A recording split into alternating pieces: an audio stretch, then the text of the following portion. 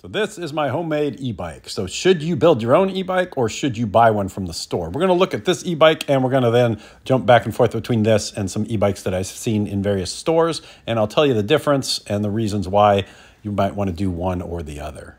So is your donor bike strong enough to handle the extra torque, speed, and braking power, etc.? So first of all, looking at the frame, can it handle an electric motor? So in Dick's Sporting Goods, you look at the Beach Cruiser there, you can see how much beefier the frame is. You can see that there's a disc brake on it, and it's just overall built to handle a lot more power than your standard casual pedal beach cruiser. And that's even more true if you're building a front wheel drive beach cruiser like mine. Mine has a big fat thick fork on it, but a lot of the beach cruisers have just real spindly forks and the thing will just snap your forks and, and the wheel will run away without you. You can see I've got a brace on it there to keep the wheel in place and give it a little more structural stability. And then you've got to think about braking. So you can see there, there are screws in the wheel kit where you can put a disc, but there is not enough room to put a caliper in there. I tried it, I bought a conversion kit, and there's just no way to fit a caliper in there. You can see other people who've done YouTube videos about how hard it is to put brakes on one of these wheel kits. And you might say, fine, I'll just put a caliper brake on it, which is what I did. But a lot of these wheel kits aren't designed for caliper brakes so that the actual edge of the rim is all grooved up and it'll just shred your brake pads in a matter of minutes. You can see how just how bad it is on this particular one. I even sanded them down to get some of the grooves off, but they don't come smooth. So you want to check that if you're going to buy a sketchy, uh, cheap wheel kit off of eBay like I did.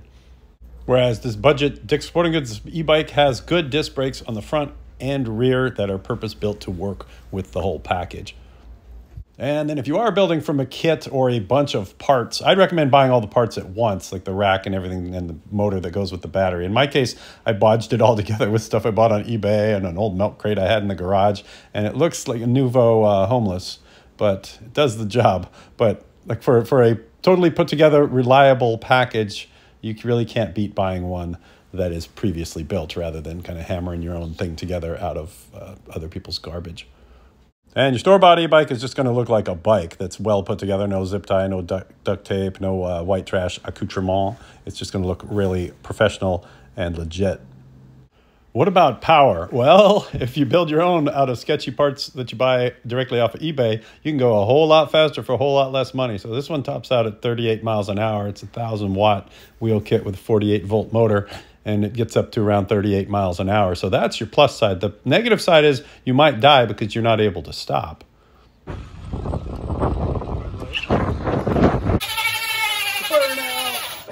Now you could certainly pay as much for a e-bike as you do for a used car. the prices are quite high for the top end ones, but you can also buy an affordable one and be perfectly happy and know that everything on it is safe and works properly. So the bike I've been showing you is $1199.99 at Dick's Sporting Goods. Probably not the cheapest place you could find this particular bike, but Nishiki's been making bikes forever, so you know you're going to get something reliable, something with with good brakes, with a strong frame that'll just get you where you need to go a lot longer than my bike will probably get me where I need to go before I have to re duct tape and baling wire something back onto it and solder things together. And I've already replaced one wheel kit on mine because I burned it out.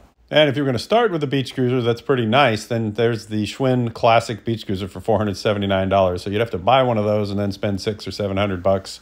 Probably more than that with inflation. That's what I spent on my wheel kit was six or 700 bucks, but they're probably more now. So you'd be looking at about the same price as you would pay for one that's already built and you'd have a reliable, safe vehicle that you could ride on the beach and cruise around and do everything that I do, except uh, you wouldn't be able to keep up with me in a drag race. But if you can live with that humiliation, then I'd recommend buying one off the shelf versus building your own.